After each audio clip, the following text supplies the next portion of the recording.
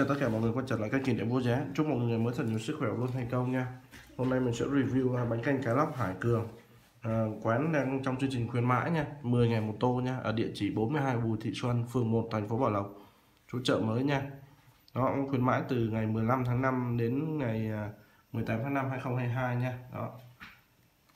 À, một tầm 10 ngàn Đấy, có rau vợ. Chỗ đổ Đây, còn bún nha quán cực kỳ đông luôn, mọi người đi phải chờ hơi lâu nha. Đấy. quán mới khai trương này các bạn, nó sẽ đổ nước này.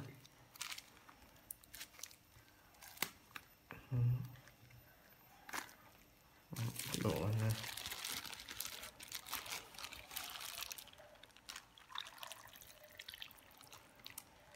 được hẳn một cái đầu cá này. Còn cái thịt cá thì đông quá hết rồi nha nên mình đi hơi muộn hết rồi đó, mọi người nhìn thấy đầu cá lóc ạ. Ừ, cái nước cực kỳ ngon luôn nha. Thơm phức phức à. Đây sẽ là phần rau này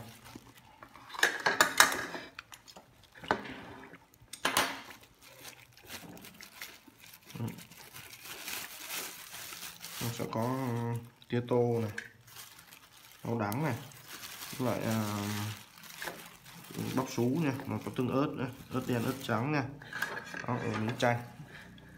Giờ mình sẽ để nguyên chất mình ăn thử nha còn rau tính bỏ sau nó nhìn đầu cá bự không? Rồi. 10 ngàn không là chưa mua được cái đầu cá nữa. Đó mình đi mua quán ở xa mình nên mua. Về nước nó không được nóng lắm nha. À, nước rất là ngon mời người thử nha. Ừ. quán nước ngon cực kỳ luôn. Đậm vị lắm nha ừ. đã quá. À, miếng cá rồi. À, một cái đầu cá bự. Đó mọi người ăn cẩn thận nó chừng xương nha. À, mọi người cá đã. Mời người nha. Uhm. cá này giống như họ chiên sơ rồi đó, nên nó rất là chắc thịt nha. Ăn rất là thơm. Cho nước này ăn cực kỳ thấm vị luôn. Uhm. Uhm, ngon chả ngon nước ngon. Có những cá lóc mà mọi người nha. Uhm. sợ miếng canh do đông khách nó, nó chưa được mềm lắm. Nhưng mà nước đồ ăn rất là ok nha. Tại quán đang khăn trong thời gian khai trương. Mới được có một ngày à? Đấy, mà một tô vào bán 10 ngàn thì quá rẻ. À đang trong khuyến mãi. Ăn cũng rất là ngon mà ok nha. Đúng bình thường có cả mấy miếng thịt cá vuông nữa cơ.